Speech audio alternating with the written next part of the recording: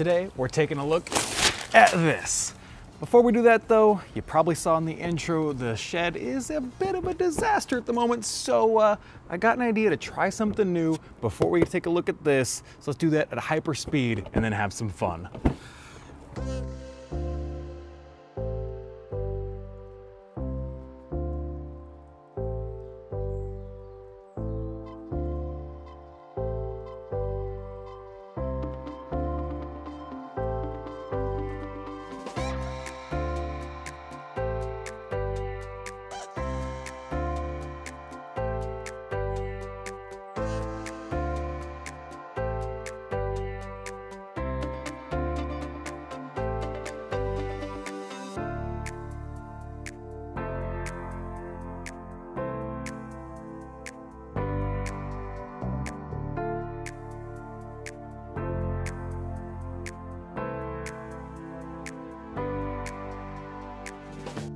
Let's start putting stuff up.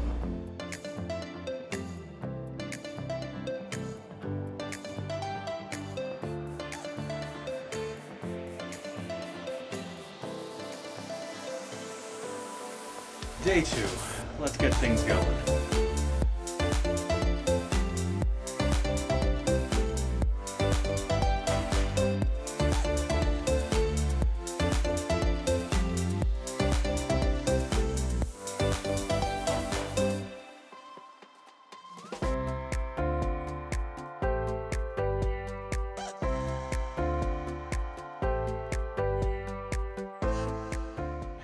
This is not done, but we're getting there. I'm gonna bring in the rest of the stuff, and I think I think this is what we're gonna call it for now. I'm pretty excited, but we'll see how this progresses as we go forward. I just want to get this out to all of you so you could see what's been going on in all this space. There's still all of this mess to clean up, but uh, one step at a time, yeah. So what do y'all think of the new uh, backdrop for the show? I've been wanting to do this for a while, and I'm super glad I was finally able to. But that's uh, not what we're here to talk about right now. We're here to talk about the CEDA. The Close Engagement Dart Assault, I believe, is the name, the full complete name of this. Jet sent this my way. I do want to get that out of the way to let you know that I did not pay for this. I was not expecting it. I just was notified that there was something coming in the mail for me, and this is what it was. Uh, so this isn't my full review. This is my first impressions after getting a little bit of time to play with it and uh, not take it out to games yet and things like that. I want to run this through its paces and put it through actual games before I give you a full-on review of it. But my first thoughts are aesthetically, I really like this blaster. I really think they did they did well with the design in terms of how it looks and, and how it feels. The grip to me feels very nice. It feels comfortable in my hand.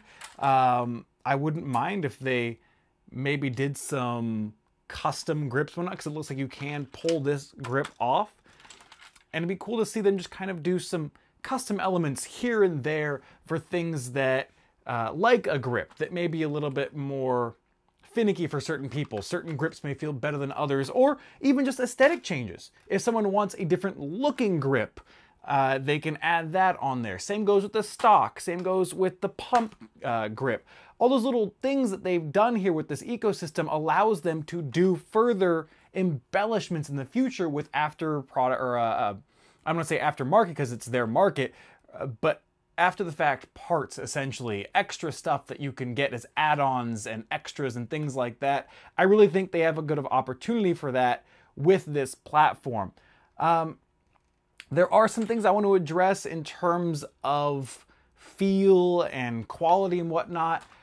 The plastic doesn't feel super cheap. It doesn't, it's not quite like Hasbro spec quality, but it doesn't feel like I'm going to break anything immediately.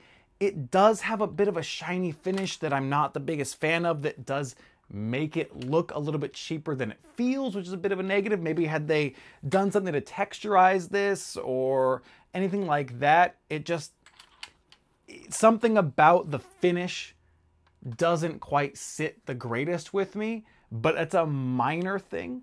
Now, I have seen various different claims in terms of the way things fit and the way things feel, which makes me think that there may be some tolerance issues with their mold or how the molds are being handled by the the, the company that produces them.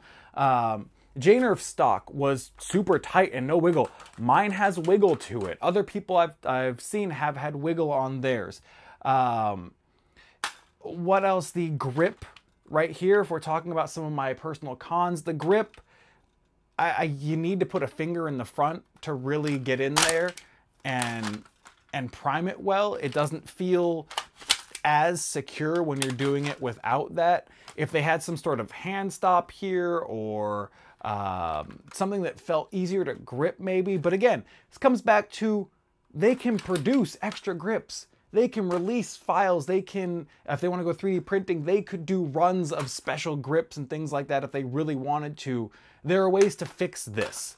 Um, I'm not the biggest fan of it out of the box, but it functions. Um, I really, really like that the stock has a good length to it. I'm not even on the furthest setting for it, and this is comfortable for me. This is where I want to be, and I've got long arms. I'm a lanky person. So the fact that there's extra room in there for people that are even taller or longer than I am to really have a comfortable feeling, that's a great touch. Uh, I really like the function of being able to pull the upper receiver away from the lower receiver and get at the internals and make quick changes. I've already looked at pulling the spring out and doing like, things like that to try some upgraded performance. But there's a lot of things at first glance I like about this. Uh, like I said, a couple things I am not the biggest fan of that I hope they would change. Um, the biggest thing for me, though, that's been a downside so far is the performance out of the box. Now, this is claimed to get around like 90 to 100 FPS out of the box. I'm getting closer to 70 or 80 FPS. I've pulled the internals out, put them back in, like reseated everything, thinking maybe there's a you know something's not sealing properly. I looked at the O-ring, and the O-ring seemed to be functioning properly. It's just something about my particular one. And again, this may come back to some of the, the tolerance variances that could be an issue. This is just speculation at this point. Um, maybe causing an issue.